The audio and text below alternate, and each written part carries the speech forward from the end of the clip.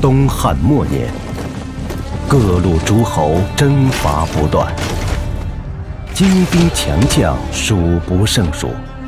其中最令对手胆寒的一支部队，史书却极少提及他们。这支号称天下第一骁骑的劲旅，由曹操一手建立。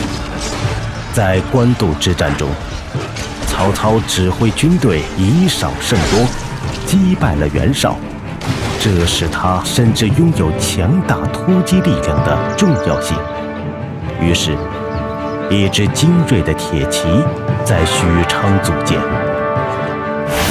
淳所督虎豹骑皆天下骁锐，或从百人将布置。淳。指的就是虎豹骑第一任统领曹纯。从百人将不知又是什么意思呢？一名虎骑兵，在普通部队中至少是统领一百名士兵的军官，而一名虎骑的装备也非常昂贵，他们的马匹要装备马铠，人则配备有重铠、长矛。和铁刀，这些装备组合在一起，加上一名百里挑一的精兵，才能成为虎豹骑。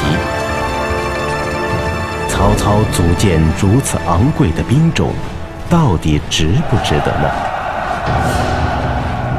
首先，在建安九年南皮之战中，克坚城，杀死袁谭。接着。又在建安十二年，北征乌桓，历经艰苦的急行军，斩单于蹋顿。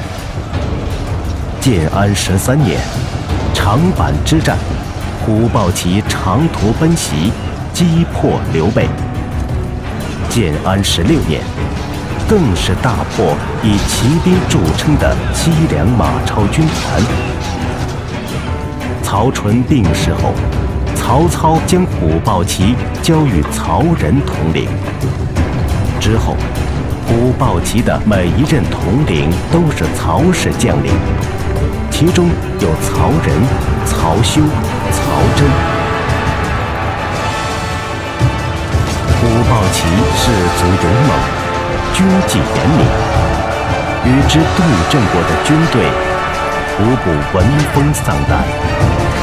为曹操最终奠定魏国的基业立下了汗马功劳。